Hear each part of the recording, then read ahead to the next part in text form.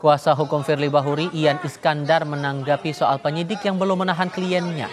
Ian yakin Firly tidak akan menghilangkan barang bukti, mengulangi perbuatan atau melarikan diri. Soal belum ditahannya Firly, ia bilang itu alasan subjektif penyidik. Bisa kita mulai ya? Ya kalau kalau uh, terkait dengan penahanan itu kan alasan subjektif dari penyidik ya. Misalnya kan sesuai dengan ketentuan KUHA menghilangkan barang bukti, mengulangi lagi perbuatannya atau melarikan diri kan tentu Pak Firly tidak mungkin melakukan hal itu gitu. Jadi uh, mungkin tidak perlu dilakukan penahanan menurut pendapat penyidik. Pencekalan Pak Firly ke luar negeri Pak tanggapannya? Yang mana? Pencekalan Pak Firly ke luar negeri. Ya itu kan SOP, SOP yang uh, dilakukan oleh pihak penyidik Polda. Ya kita ikutin aja gitu.